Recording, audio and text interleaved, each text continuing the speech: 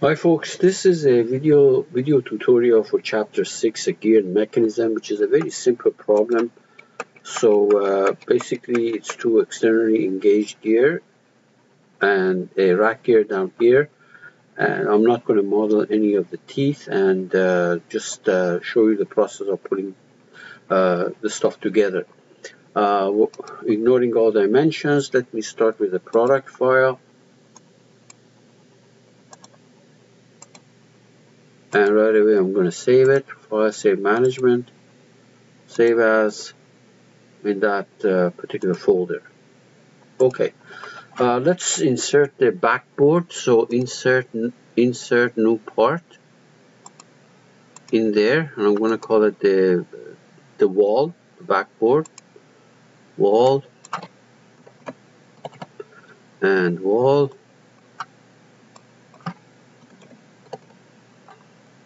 Okay, let's make it. On that vertical plane, I will sketch a rectangle with two holes in it, two circles in it. So one of them, the uh, for one of them is going to be where the uh, the shaft of the big gear is going to go, and the other one where the shaft of the small gear or the pinion is going to go. So let's make it right, something like that exit. Pad it. That's good. Let's insert our next part. So insert new part. How about the big gear? Let's make the big gear first. Properties. Big G. Okay and the big G. Big G. Okay let's make it uh, double click on it to get in the part design on that on that plane. I will sketch.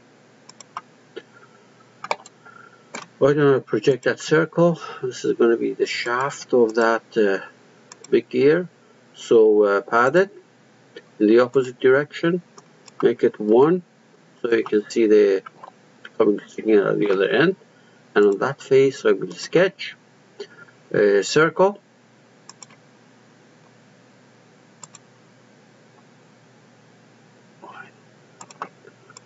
So I want this control with that to be concentric.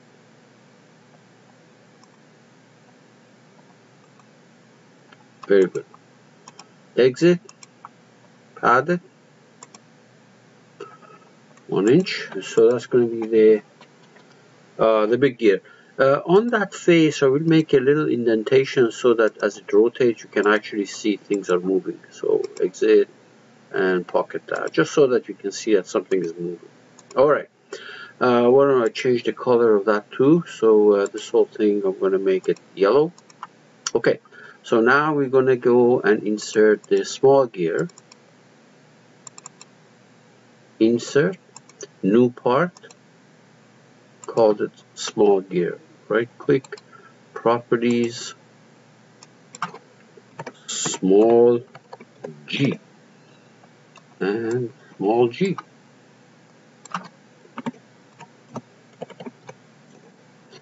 All right, let's go make it. On a convenient plane, on that same plane, I will sketch, project that circle, exit, uh, pad it, in the other direction, one inch so that sticks out of the other end. Why don't I change the color on that? How about uh, yellow or red? And on that face, I will sketch. So red is not a good idea because sometimes when things don't update, they turn red. So uh, the first thing I want to do is make sure that uh, these two actually are concentric. This and that or uh, concentric. Okay, and I want these two to be tangent, control, just so that it looks better, that's all. Because in principle these have uh, gear teeth and stuff like that. Okay, exit, pad it by one inch, okay. And uh, just like on the other one, I'm going to make a little indentation there. Uh, put a feature such as a pocket there so that I can see that it's actually rotating. So uh, pocket to the end. Okay, good. All right, the final thing is the rack. So insert new part in there.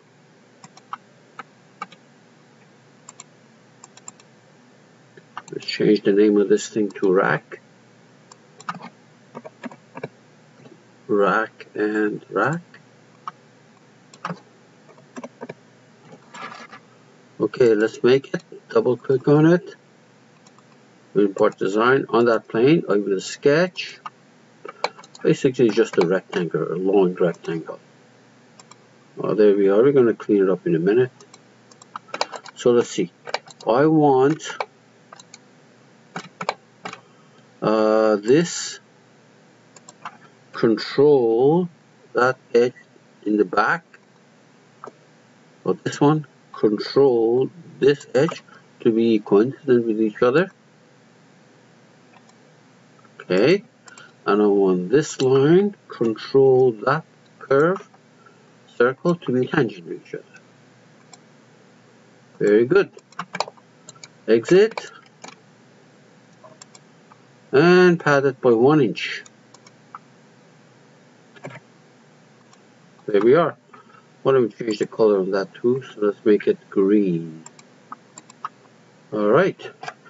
Now uh, there are no assembly constraints here yet. So what I would like to do is to create assembly constraints because we're going to use the magic wand later on. Uh, let's go to assembly design drag these out in the X direction so this and that and that. Why don't we anchor the the base? So coincident in this axis and that axis and coincident in this plane and the back plane of the yellow gear big gear. Let's repeat it with the other one so coincidence between the axis of this and the axis of the, the gear and coincidence between the face of the ball and this back face of that guy. And update. Alright and let's put the rack in there. So coincidence between uh, the face of the wall and the face of the rack. And coincidence between the edge the, the edge of that wall and the edge of this rack and uh, update. Okay. Now, uh, we're going to go to uh, uh, digital mockup, DMU kinematics, get the magic wand out right there, new mechanism, auto create, and OK. And there should be three uh, three joints, two revolutes, and one prismatic right there. Okay. Now this problem, although it's a gearing system, it can be done completely without the use of the two joints, gear joint or rack joint. See that? These two, gear joint, rack joint. You can use a roll curve joint where this circle rolls on the circle of the yellow gear and another roll circle between the circle of the uh, yellow gear which rolls on that edge of the rack. So the problem can be done without using a gear system, but I would like to do that differently here. So I'm going to click on the gear joint. It's asking for two revolute joints. Okay, great, we have them. And then it says, are they moving in the same direction or opposite? Obviously, these are externally engaged gears, so they move in opposite direction. And the rear gear ratio, well, there is default value, so minus one. No, I it's actually the, the number of teeth on the yellow one over the number of teeth of the red one, or the radius of the yellow one, or the radius of the red one. So uh, this can be defined here. Just click on it, select the, the circle of the, the yellow circle, and then the, the red circle automatically calculates the gear ratio and puts it over there. And we say OK. Notice that there are two uh, angles that can be used for commands here, but we'll come back to that later. All right, now notice that what happened, both revolute joint got gobbled up by the gear joint that we created. Now we want to do the rack joint. Here's the rack joint, you click on it. It's asking for a prismatic joint, no problem, we have it here. And then it's asking for a revolute joint that is the one which was for the yellow one, which was, was gobbled up with the so we can define it. We can create that revolute joint actually. So let's go in the back. Okay, so we want the axis of this yellow one, hide it, the axis of the hole, and the plane of the yellow one. Let me bring this in the front.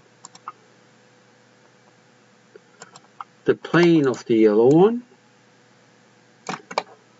uh, well, I can always uh, I can always uh, uh, hide the base and select the, the, the face that I want, or uh, I don't. I can use, for example, this this plane and that plane, but mention that there's an offset between them. That does the same thing.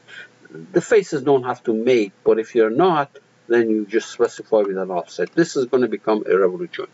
The other thing that we have to do is uh, define the, the ratio, gear ratio. Now this is a rack joint, so what that gear ratio is, every turn of the yellow gear, how much advances the green one, the green rack. So since, uh, uh, well we can define that, you click on it, you select the circle, and it actually works it out. So it says every turn of the yellow gear will advance the rack by 311 millimeter. And then we say OK. Now, needless to say that the degree of freedom is 1, right there.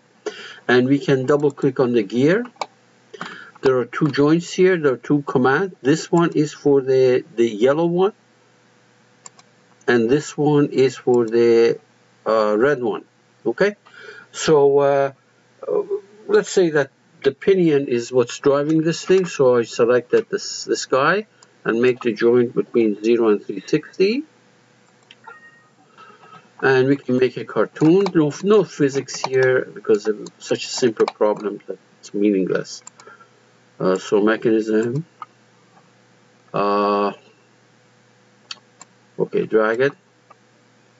Insert rewind and then we can play it continuously so uh, there we are